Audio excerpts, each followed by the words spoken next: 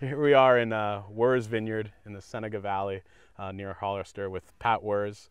Uh, thank you very much for taking the time to, Well, to you, chat with us today. Thank you, Chris. Uh, this is a pretty pretty special place and definitely out of our usual area that we're working in, mostly in Sonoma Valley and Contra Costa. In that area, we're kind of we're down by Hollister. So can you tell tell us a little bit about where we are and and the history of how your family came to this place? Well, the the Cienega Valley's been a a, a wine growing area since the 1850s.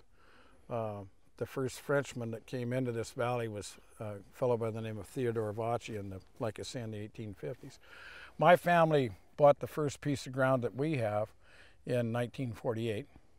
Uh, this vineyard that we're standing in now, we bought. My father and I bought together in 1983, and it was planted to Riesling when we bought it. Riesling and and a, and a Zinfandel Cabernet Pfeffer blend on some of the hills, field blend. Uh, this particular vineyard, the Riesling, was planted in 1964 uh, by Almaden uh, Vineyards, and they were a pretty big vineyard back in the day. Uh, some of the vineyard on the hills was planted in the 20s. Some more was planted in 1903. Um, and like I say, our family's been in in on this particular piece of ground since 1948. On my mother's side of the family, we've been in San Benito County since the 1850s. you have some you have some deep roots Yes, here, we do. like like a lot of the vines out Yeah. here, and it's it's interesting because you you know you don't see a lot of old vine Riesling vineyards left, even though it was probably more planted than Chardonnay before the 1970s, 1980s out here, but Yeah. you don't see a lot of old Riesling vineyards Well, left. from what I understand, um, Almaden planted this this particular vineyard and um, several others. They had about two or three hundred acres of Riesling, and they planted it in in the '60s. It was kind of a fashion, from what I understand, to make sparkling wine out of it, and that's what this is predominantly planted for. When we bought it, Riesling was kind of market was kind of down, and we've had our ups and downs over the last 30 years with this vineyard because Riesling comes, goes and comes in and out of fashion. Uh, but I guess I'm just stubborn, so I, I hang on to it. Well, they're also pretty darn special vines. I mean, with this being planted in 1964, that puts it right around second or third oldest Riesling vineyard in the state. Yeah, that's Stony Hill. Stony Hill has the oldest that I know of, which is I think 1948 or 1952, somewhere around there. And Uh-huh. then this is this is right around the, the second or third oldest Riesling vineyard, and it's also own rooted, correct? There's Yes. no rootstock on this, no. which is also very unusual. Whether you're talking Germany or America, Yeah. you don't see a lot of own rooted Riesling vines, Yeah, and um, it is dry farmed. and it is dry farm, which, With- as all you out there know, Morgan and I love our dry farming. So thanks for keeping it dry farm, Thank you, Pat. Chris. Um, the only time that we've irrigated is during these major droughts. We had the one that we just came through, and uh, we irrigated it with sprinklers a little bit just to save the vines. Yeah, yeah, yeah. And then there was a, we had a pretty severe drought about 20 years ago that we irrigated, you know, one or two years, just the same thing, just Yeah. to save the vines. Well, gosh, I mean, we've been working with this vineyard since 2014, and um, boy, did it like the rain this year. The vineyard looks It never did. better. Yeah, it's, it's- the canopies are so much healthier, and yeah, it's it's it's it's looking like it's finally gotten a real drink. Yeah, well, it's like I told you, Chris. This this is what the vineyard usually looks like. Yeah. When we're not in a drought. Although you know, it made great wine even the drought. The vines got Yeah. through it because it made some great wines in the Yeah. drought. And also, you have really unique soils here in the fact that there's actually limestone that we're standing Yes, on. absolutely. Um, there, in fact, there are several large limestone uh, deposits, uh, large enough to where they can mine them. We have a mine just two miles down the road, and um, where Calera has their vineyard, uh, about two or three miles from where we're at in the mountains. Why they there used to be an old limestone uh, quarry up there. So Yeah, yeah, so we're right by Calera, which one of the great Pinot Noir producers of all of California, um, Josh Jensen, uh, one of the pioneers of Pinot Noir in California. He was searching for limestone, you know, like a lot of people with Pinot Noir do, and he, that's how he ended up out here was his search for limestone. Yeah. And am I not mistaken? But he made his first wine off this vineyard, off the Zin on the Hill, correct? Yes. In 1975, right? Yeah. Yeah. so he and a he and a neighbor of his went together and they bought a ton of, of Zinfandel for my father and I, and, and he made his first few barrels of wine off of some of the Zinfandel off our place. But then he realized that Zinfandel is too challenging and ta- to make, so he decided to go to Pinot Noir, you know, a little Which bit is- easier. Which is a much easier. Much easier grape uh, No. than, than the old vines. there. Yeah. Um, You ever have that one? uh, oh yeah, yeah, and it's it was Josh did You, nice s- job. you saw the you saw the potential greatness of Josh Yeah. Jensen in that one. Yeah. Yeah. Uh, Yeah, no, Josh.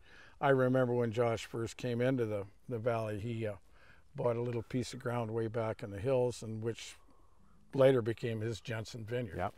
Yeah. Um, yeah, and everybody thought Josh is crazy. yeah, a lot. But- That happens a lot when you're playing but vineyards. he, and uh, they think you're crazy. He uh, he made his dream come true. Yes, It's he good did. for him. Yes, he did. He's he's he's made some incredible wines and helped bring this area, I think, in a little bit more notoriety Mm-hmm. for sure. Absolutely. Because there's also, you know, also down the street, there's Enz Vineyard, which is another amazing Yeah. old vine vineyard in this Yeah, area. And. I guess because that's the Lime Kiln AVA, correct? Yes. And you're just outside of that. So yes, this is we're in the we're in the Cienega Valley. Seneca. So that's Yeah. right by Hollister, which everyone knows is a t-shirt company and thinks it's a surf company, even though it's nowhere near the ocean. No, Uh, But uh, no. there's also this incredible sort of farming community around here Yeah. as well, because there's ranch, like you ranch cattle, and Yeah.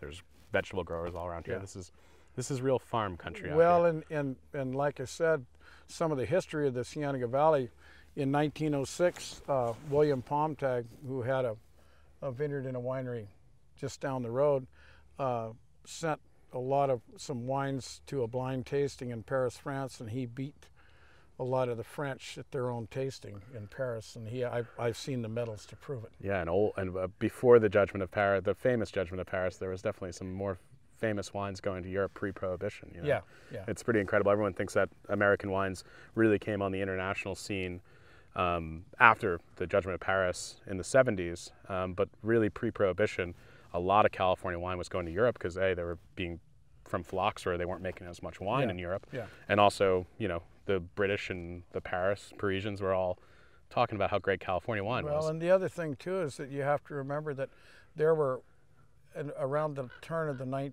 of the 1900s, uh, there were a lot of Italian, Yep. French, German immigrants into particularly this part of California, the Santa Clara Valley and San Benito County, uh, and even up in Napa Sonoma area. Sure. And so they brought their culture with them, and part big part of their culture was the wine grapes Yep. you had uh, and and and and uh, like I said before, Theodore Vache, and you had Charles Lefranc Yep. and Paul Masson, Yep. And a lot of the the labels that are only labels now, but they were some of the pioneers in our industry. It's pretty incredible that, and it was a shame that we lost all that knowledge during Prohibition. Of, It is. but It we're, is. we're starting to get it back. Oh yeah.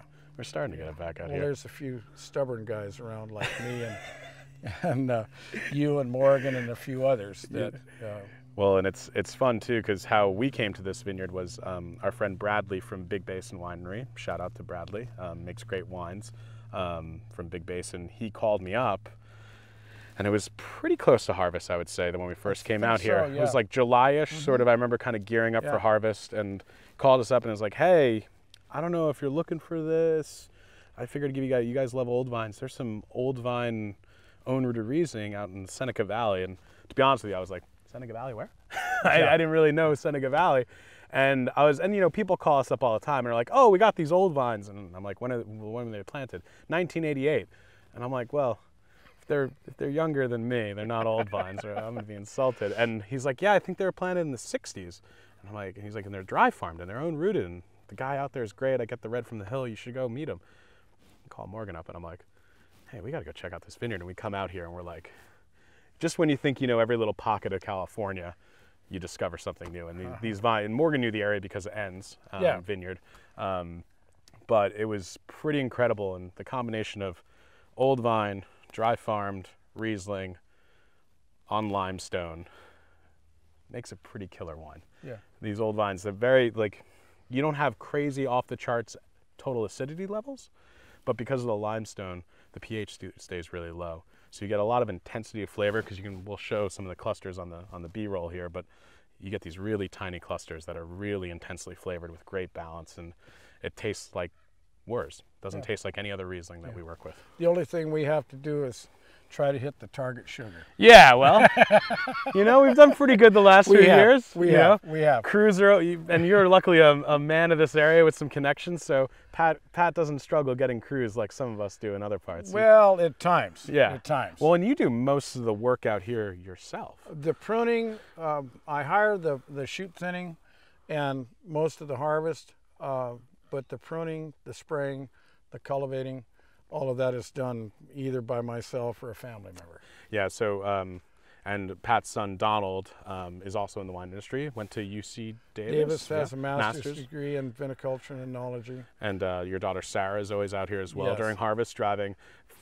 Pat also has one of the best collections of crawlers you will ever see.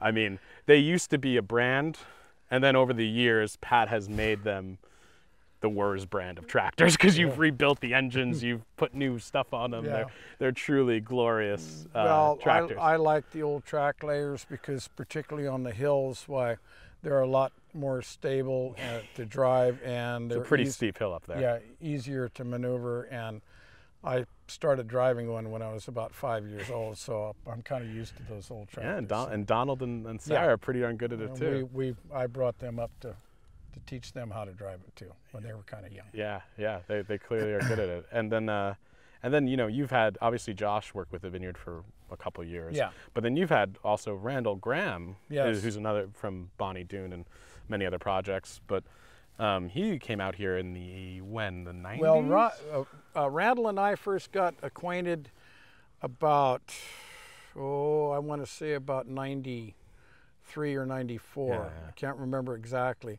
Uh, when Randall was developing his Pacific Rim Riesling Right. label. Um, and my this vineyard was some of the first in that particular which label. back then it was kind of a small yeah geeky project, and now obviously Pacific Rim yeah became a giant thing. But this is one of the original vineyards for the Yes, original it Pacific is. Rim. This and my neighbor had a Riesling vineyard, and the two vineyards were his original Riesling for his Pacific Rim Riesling.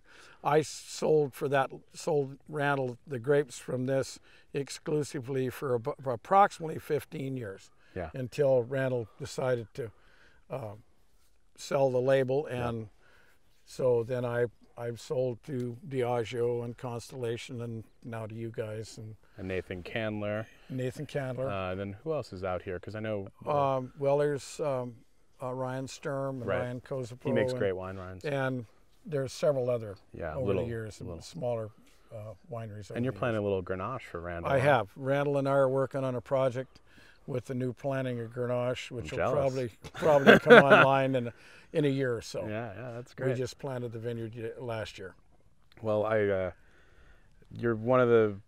When I go out to a vineyard, I never can be more excited than when I see you. So Well, thank you, Chris. it's it's a real honor to be out here and, and get this fruit and and you know, California can make more than just Chardonnay and Sauvignon Blanc. Yeah. And and I think this is one of the true testaments to that uh, this place. So thank you for caretaking it and keeping it in the ground and farming it beautifully and selling us the grapes. well, thank you, Chris. Thank you. Cheers, everyone.